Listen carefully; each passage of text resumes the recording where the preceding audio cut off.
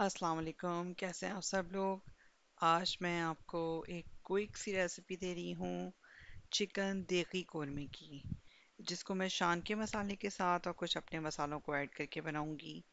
इतनी आसान रेसिपी है, आप चाहे तीन किलो चिकन लें, पाँच किलो चिकन लें, लेकिन उसका एक हिसाब है, उस हिसाब से अगर आप करेंगे तो बहुत ही अच्छा आपको कौरमा मिलता है। बना हुआ और बस छोटी छोटी सी चीज़ें हैं जो आपको फॉलो करनी है। और इसी तरह की रेसिपीज़ हासिल करने के लिए आप मेरे चैनल को लाइक करें सब्सक्राइब करें और बेल आइकन को प्रेस कर लें ताकि आपको मेरी नई रेसिपीज़ मिल सकें।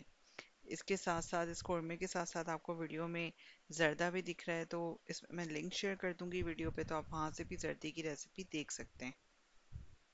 चिकन कौरमा बनाने के लिए हमने ली है तीन किलो चिकन दो पैकेट हमने शान कौरमा मसाले के लिए 50 ग्राम्स वाले और तीन से चार टेबल स्पून हमने लहसुन अदरक लिया है, इसके साथ हमने दो टेबल स्पून लाल मिर्च ली है, धनिया पाउडर लिया है, दो टेबल स्पून और दो तीन दालचीनी ली हैं और इसके अलावा दालचीनी की स्टिक और उसके अलावा दो बड़ी इलायची।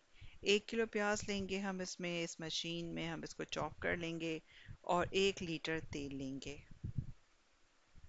जनाब, हमने तेल को गरम करने के लिए रख दिया है। जब एक लीटर तेल हमारा पतीली में गरम हो गया तो फिर हमने इसमें ऐड कर दी प्याज और प्याज को हम कर लेंगे ब्राउन।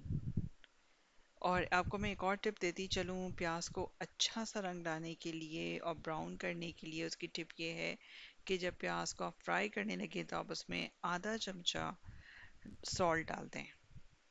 तो प्याज को हमने कर लिया है फ्राई इसके बाद प्याज को फ्राई करके हमने अलग रख दिया और उसी तेल में हमने डाल दिया है चिकन चिकन को डालने के बाद लहसुन के अदरक के साथ जब फ्राई हो गया तो मैंने शान कौरमा मसाला डाल दिया और बाकी तमाम मसाले भी डाल दिए.